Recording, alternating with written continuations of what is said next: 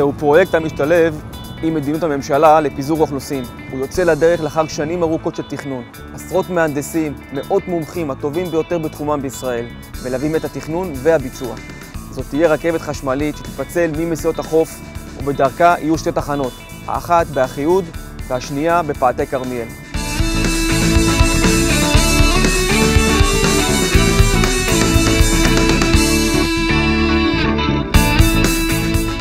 אנחנו עוברים דרך הרים במנהרות, אנחנו חוצים ודיות, אבל על מנת לייצר מסלול מהיר לרכבת ולהימנע מפגיעה בסביבה, העתקנו מהמקום הזה, מגבעת אחיהוד, 40 אלף פקעות של רקפות. הפקעות האלה הועתקו לשמורת אפק, ושם הן בעצם נשארות עד אחרי שעבודות השיקום הנופי יסתיימו ויחזרו לכאן.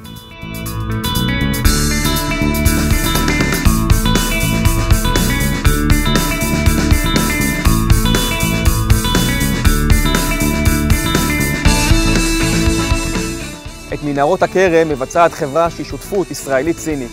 המנהרות הן פרויקט תכנון ביצוע שהחל בשמונה חודשי תכנון ונמשך ב-32 חודשים של פעילות בשטח. זו עבודה מבוצעת תוך עמידה ביעדים של זמן, של איכות ושל תקציב. אין חריגה מעלויות.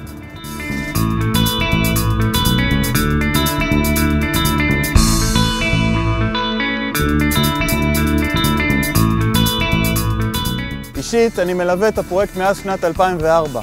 לאחר כל כך הרבה שנים בהם אני מעורב ומעורה בפרויקט, העתקתי את מקום המגורים שלי ליישוב גילון, שנמצא מעל המנהרה. כאן בגליל נמצא העתיד של מדינת ישראל. אני גאה להיות שותף בעשייה.